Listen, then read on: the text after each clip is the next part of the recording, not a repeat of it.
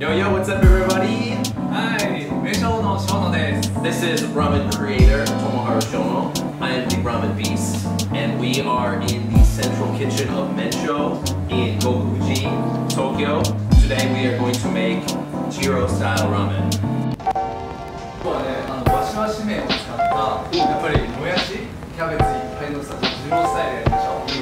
We have washi washi style noodles that were made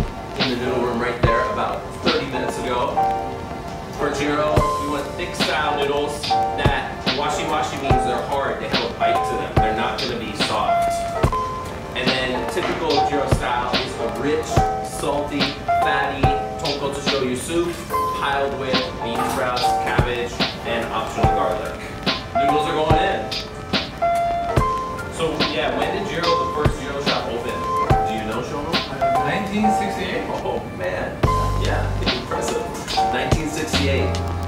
shop open, and now there are almost 40 or 50, including many imitators and inspired shops. Mm. Yeah, another interesting and uh, kind of unique point to Jiro style is thick cut pork chashu. Extra thick. In this case, we're going to use shoulder. The first step in the bowl is to add the tare. Yeah, so we have the pork chashu that has been stewing in this shoyu, soy sauce, tare sauce. That is the tare sauce we're going to use in the ramen. Uh, not clear, creamy, milky pork kutsu. Yeah, genkotsu uh, It's made from genkotsu, which are the pork femur bones. About 300 cc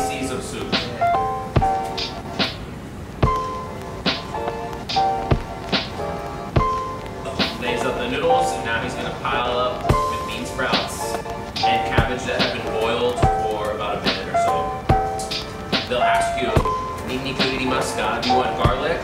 And that's when you can say yes, I want garlic, or you can order extra bean sprouts, extra pork back fat, extra tare sauce. Do you want the garlic? Yes,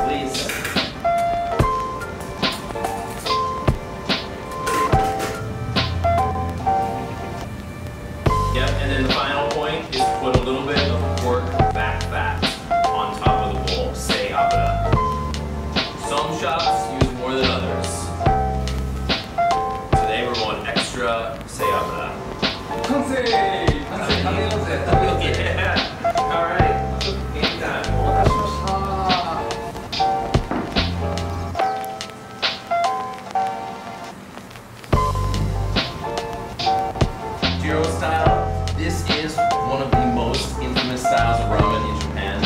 As you can see, it's a monstrous bowl. Usually you can get this bowl for like 600 yen, 700 yen, which is maybe why a lot of college kids go for it. The, um, the original Jiro style is still in operation. There are now about 40 to 50 Jiro shops, mostly in Tokyo. What makes Jiro unique is that all it takes to open a Jiro shop is to work at one and then have the blessing of the owner. You don't have to pay like franchise fees, so it's actually a really unique concept.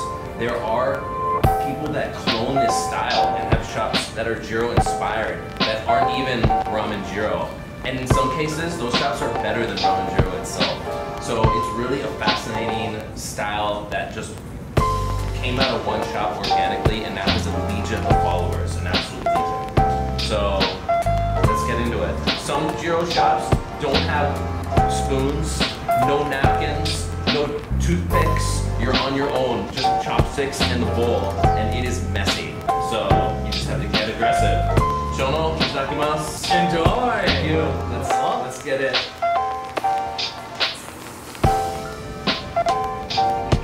So another thing that's famous about Jiro is the quantities of toppings.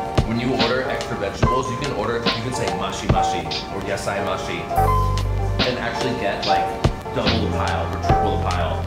Um, but if you order that you can't finish it, bad for it. So I don't recommend it unless you can beast out.